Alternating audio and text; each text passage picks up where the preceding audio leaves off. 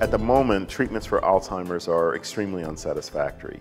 But I think we know a fair amount about prevention of Alzheimer's disease. Um, for example, it begins as an inflammatory process in the brain. So anything that reduces inflammation is protective. That's why taking ibuprofen every day reduces risk of, of, Alzheimer's disease, for example. So does turmeric, the yellow spice. I'll talk to you about that tomorrow. Uh, so that's one strategy, is an anti-inflammatory diet and lifestyle. Um, we also know that education is protective against Alzheimer's disease and dementia.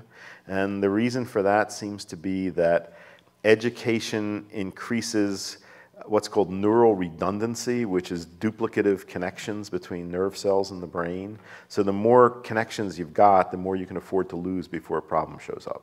So what can, you know, I, want, I thought about what are there particular kinds of education and learning that stimulate that? And I think there are. One, one that I'm sure of is changing a computer operating system.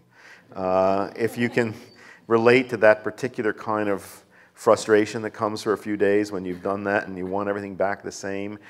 You want to put your brain in that state frequently. You know, that's when neurons are growing new connections. Uh, a, a, way to do that on an ongoing basis is to learn another language. Uh, there's very interesting evidence that people who speak more than one language have better brain function generally and better protection against dementia. The good news is you don't have to master the, the language, it's just the attempt to learn it. It's like running different software through the brain, and uh, that's a good thing to do.